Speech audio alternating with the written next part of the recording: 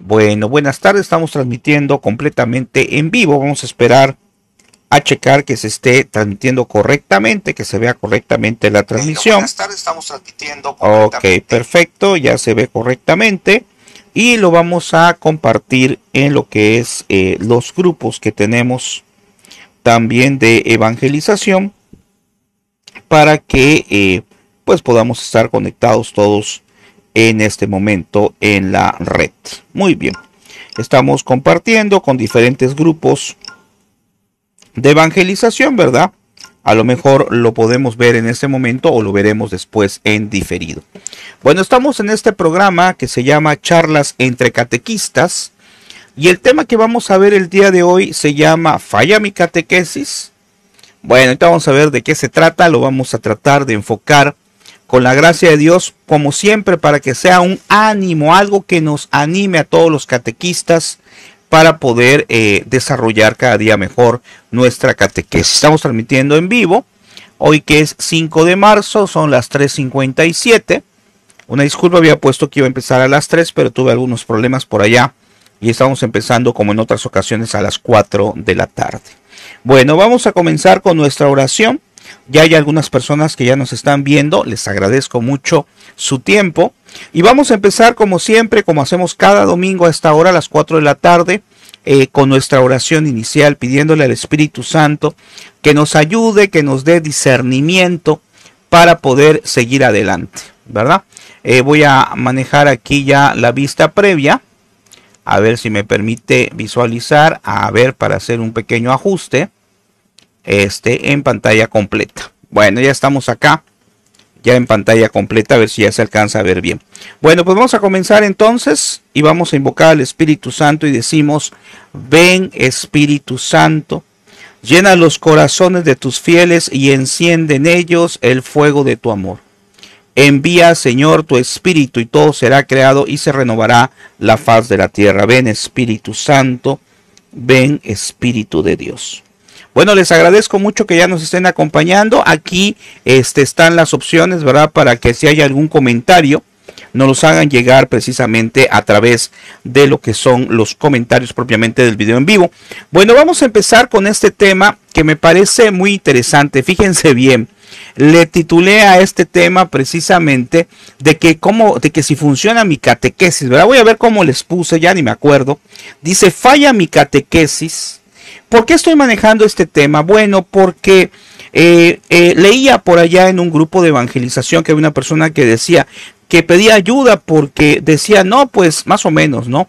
Decía que daba catecismo a un grupo numeroso de niños para primera comunión, pero que habían niños que les decían que bueno, que iban de manera obligatoria y que no tenían muchos deseos de prepararse para la catequesis. Bueno, antes que nada soy el maestro Gabriel Esteban, ¿verdad? Soy catequista, soy, de profesión soy docente y como catequista pues ya tenemos más o menos como 37 años más o menos. Pero eso no significa nada, ¿eh? porque siempre estamos aprendiendo, siempre estamos conociendo más. Y nosotros debemos siempre de estarnos preparando como catequistas. Pero bueno, nos hemos topado con muchas situaciones así con algunos grupos que a lo mejor nos damos cuenta que se están preparando para la catequesis, pero resulta que a lo mejor eh, hay alguna situación que hace que no, siga, no se siga avanzando en la preparación. Bueno, hay muchos elementos que son muy importantes. Recuerden, si tienen algún comentario, ¿verdad? Nos los pueden hacer llegar aquí a través del celular. Bueno, les decía que hay muchas situaciones interesantes. Miren, en el canal que tenemos de Mr. Teacher Gabriel, ahí hay un curso que yo grabé, creo que son como de 4 o 5 horas, que se llama catequesis integral. ¿Cuál es la situación o por qué lo menciono? Porque a veces esas situaciones que se dan dentro de los grupos de catequesis donde tenemos problemas con los niños, es porque no hemos incluido a los padres de familia. ¿sí? Lo vamos a manejar de varios puntos. Cualquier comentario nos los pueden decir. El primer punto, para checar qué está pasando o para tratar de mejorar lo que es mi catequesis. El primer punto es, a mi juicio, muy personal, hablar de una catequesis integral. ¿A qué me refiero? a ver la forma de hacer que los padres de familia, los tutores, las personas que están con los niños y con los jóvenes, pues se integren precisamente al proceso de catequesis del niño.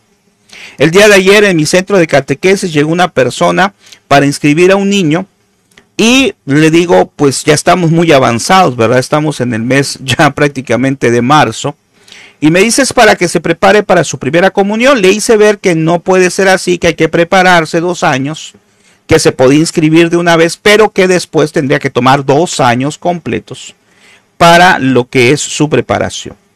Y se me quedó viendo así, ¿verdad? Tal vez no extrañada, pero se me quedó viendo. Y le hice un ejemplo que por ahí lo tengo en redes, que ustedes también pueden utilizar si gustan. ¿Qué es lo que ocurre? Que a veces el papá puede ser que venga con la idea de que haga rápido su primera comunión y hay que explicarle a los padres de familia que no, que tiene que haber un tiempo de preparación que depende de la diócesis. Cuántos años tienen que estar yendo a catecismo para poder hacer su primera comunión o recibir la confirmación, ¿verdad? En el caso del bautismo, ya sabemos, el bautizo tiene que ser más rápido, ¿verdad?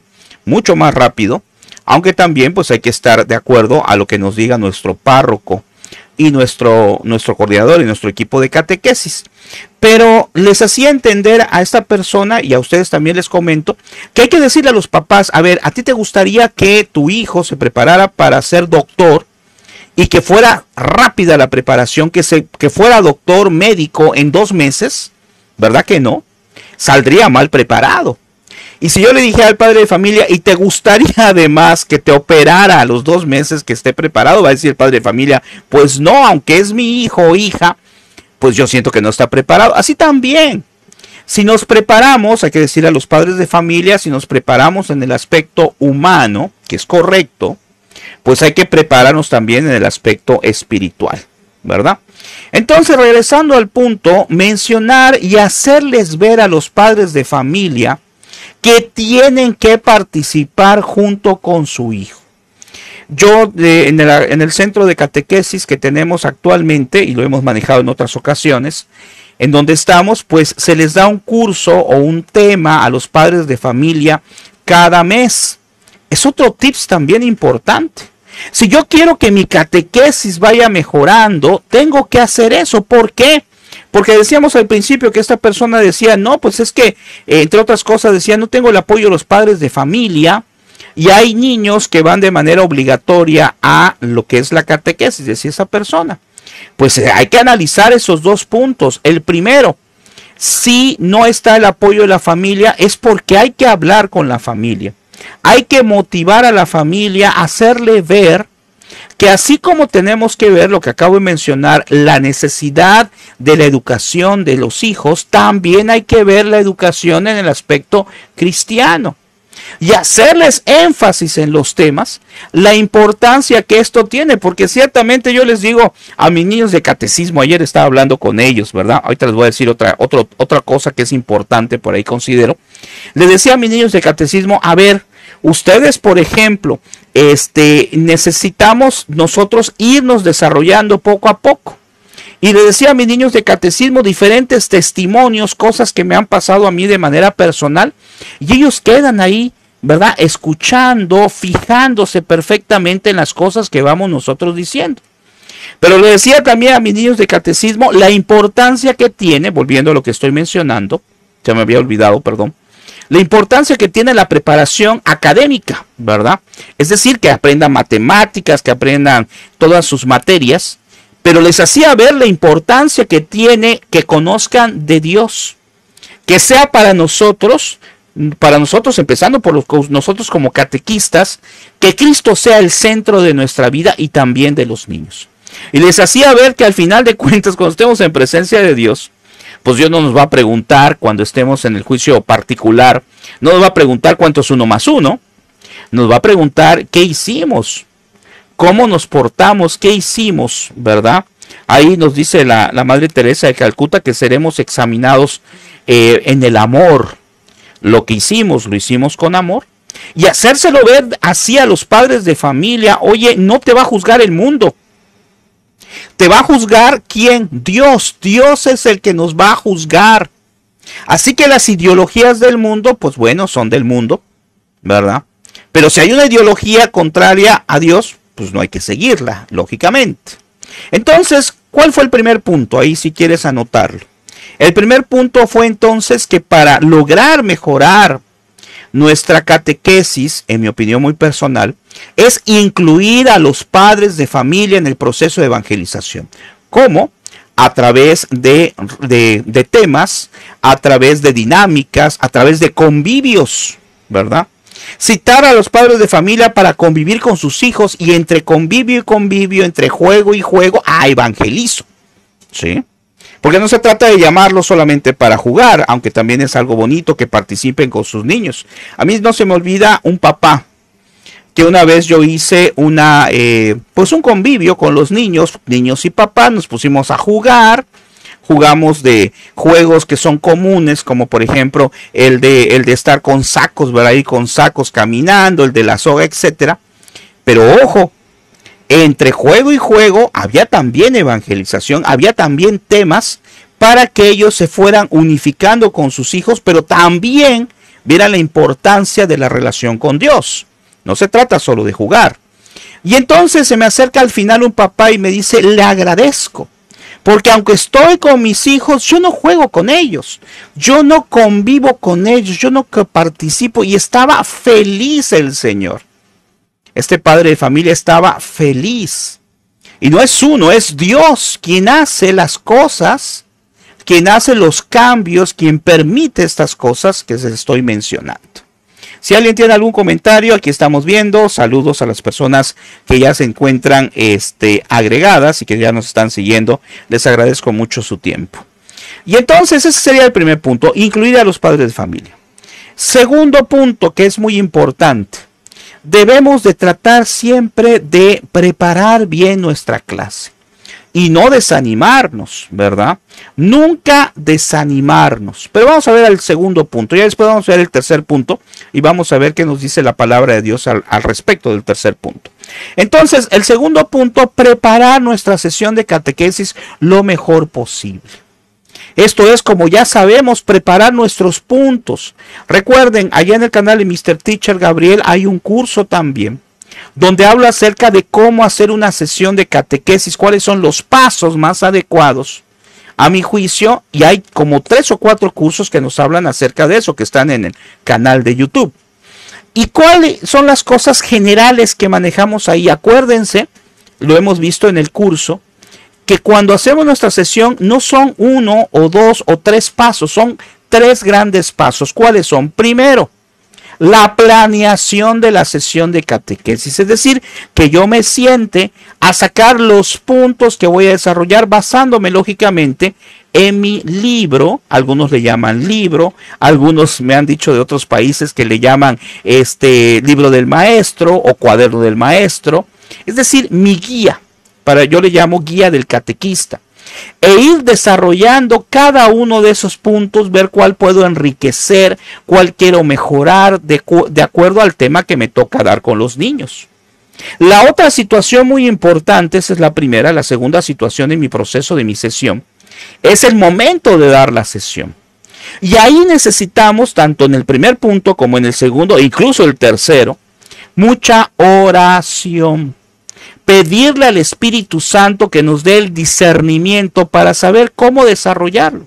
¿Y por qué menciono mucho en el segundo elemento, es decir, en el momento de la sesión?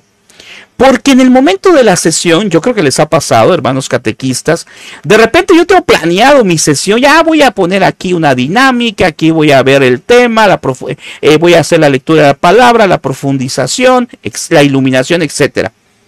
Y resulta que algo pasa. De repente un alumno me hace una pregunta, es, es, decir, aparece algo que a lo mejor va como a cambiar un poco mi planeación de mi sesión de catequesis. Pero tenemos que estar preparados. Y muchas cosas no van a depender de mí, claro, porque esto es obra de Dios. Yo soy un instrumento, un indigno instrumento de Dios para llevar su mensaje, llevar su evangelización. Entonces, puede ser que salga algo así, y pedirle al Espíritu Santo que me ilumine, que me ayude para saber cómo poder ir mezclando, desarrollando las cosas que yo anteriormente preparé, ¿verdad? Y los tiempos les va a dar poquito a poquito, van a ir adquiriendo la experiencia, la ayuda de Dios, para ir mejorando cada elemento de su sesión. Pero hay un tercer punto que a veces se nos olvida como catequistas, como docentes también, les digo que yo también, pues también tengo que preparar mis clases también en mi trabajo, y es precisamente lo que es la, el análisis. Es decir, ya hice mi, mi planeación de mi sesión, ya di la sesión de catequesis, pero muchas veces lo dejamos así, ya terminé, ya acabé con mi sesión.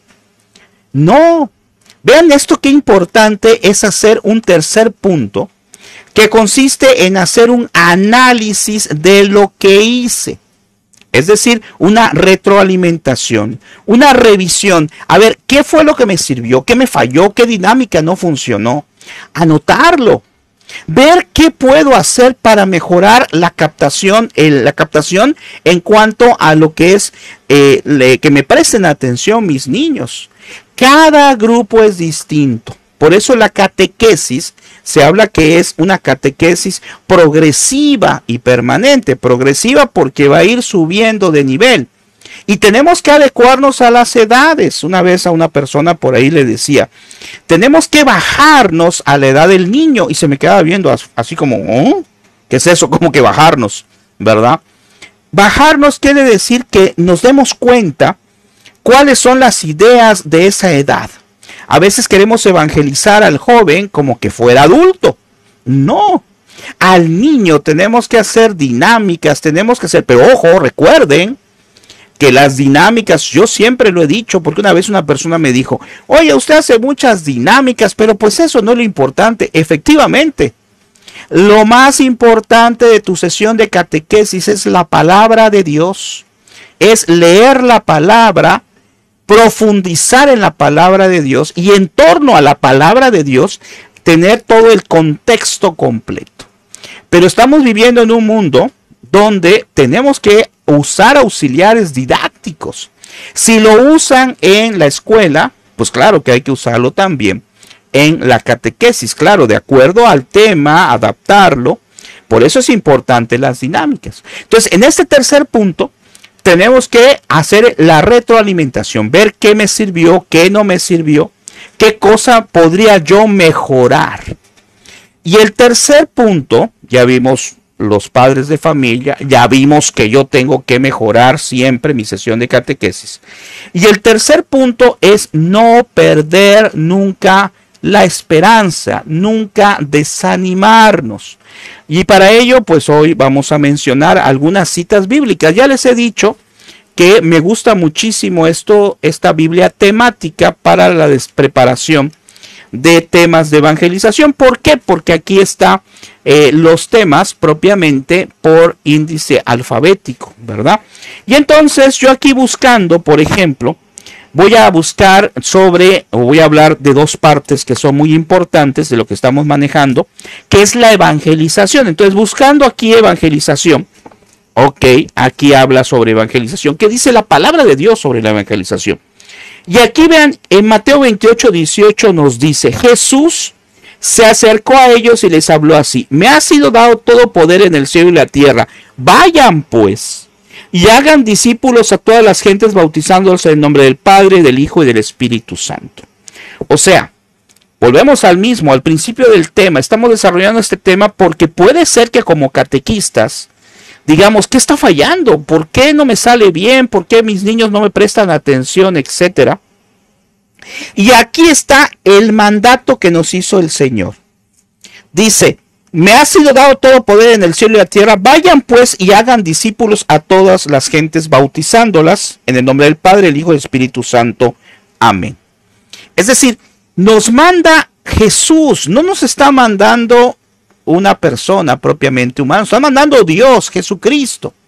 La segunda persona de la Santísima Trinidad nos está mandando a llevar su palabra. Eso tiene que ser para nosotros una gran confianza porque es Dios mismo que nos está mandando a evangelizar. Pero la lucha no es fácil, ¿eh? Esto es algo que nos debe de quedar muy claro, que no es fácil porque, como hemos dicho, como ustedes a lo mejor también se han dado cuenta en muchas ocasiones, pues la situación de que a veces estamos luchando por llevar al niño, al joven, a Dios, pero su familia no participa. Ah, entonces ahí tenemos el primer punto que dije. Tenemos que incluirlos en la catequesis a los padres de familia. Y nos vamos a desanimar, decíamos, porque cuando veamos que el niño no responde, cuando veamos que les dejamos una tarea, me ha pasado, ya les comentaba la otra vez de, una, en una ocasión, ¿verdad? Que una, una, un, padre de familia me decía, no es que mi hijo no lo hace porque no tiene tiempo. ¿Y por qué? Porque va a la escuela. Bueno, todos van a la escuela. Y además porque eh, se pone a jugar videojuegos. Ah, entonces allá hay otra cosa, ¿eh? Ahí no solamente es por la escuela. Entonces, a veces no hay el apoyo de los padres. Ojo, incluirlos. Y el cuarto que vamos a ver que va a ser el último va a ser la oración pedir por los padres de familia, pedir por nuestros niños, para que con la fuerza de Dios puedan encontrar precisamente con ese Cristo que nosotros queremos. Como decía su santidad Juan Pablo II, ese encuentro personal con Cristo. Entonces, no estamos solos, ¿eh? Dios nos está mandando a evangelizar. Entonces, no hay que desanimarse, aunque veamos que nuestro grupo eh, no funciona bien. Aunque yo vea que, por ejemplo, aquí hay tantos viendo y después, ahí se fue uno, se fue otro, no importa, seguimos. Porque con una persona, fíjense bien, lo he dicho, con una persona que, eh, que por gracia de Dios se encuentre con Él y seamos instrumentos, indignos instrumentos, pero seamos instrumentos para llevarlos hacia Él, con eso es suficiente. Claro que no nos vamos a limitar y vamos a decir, ah, entonces lo que usted dice, maestro, es que si yo tengo 30 alumnos con uno que, que, que, se, que haga la primera comunión, ya estuvo, ¿no? No, no me estoy yendo a ese extremo. Pero lo que estoy diciendo es que cada alma vale muchísimo para Dios. Entonces hay que luchar, hay que echarle ganas y no desanimarse. No dejar la catequesis porque no ha salido todo bien. Dios nos está mandando. Pero nunca ha dicho bueno, al menos yo en lo que he leído, yo nunca he leído que diga Dios, ah, bueno, ¿sabes qué? No te vas a tener ningún problema, ¿eh? Si estás conmigo, todo te va a ir bien. Si evangelizas, va a salir re bien todo. No, no es así. No es así. Y por eso, la segunda palabra que estoy buscando en la palabra, la segunda palabra que estoy buscando en la palabra de Dios precisamente, es la confianza. Fíjense qué dice Dios sobre la confianza. Por ejemplo, en Éxodo en Éxodo 14, 13, vean qué hermoso dice. Contestó Moisés al pueblo, no teman, estén firmes y verán la salvación que Yahvé les otorgará en este día, pues los egipcios que ahora ven no los volverán a ver nunca jamás. Yahvé peleará por ustedes, que ustedes no tendrán que preocuparse. Entonces, aquí esta parte de la palabra de Dios del Éxodo que nos habla acerca de la confianza en Él, no solamente lo vamos a manejar a la catequesis, sino nosotros mismos, la confianza que tenemos que tener en Dios. Pero lógicamente lo voy a aterrizar a lo que estoy manejando.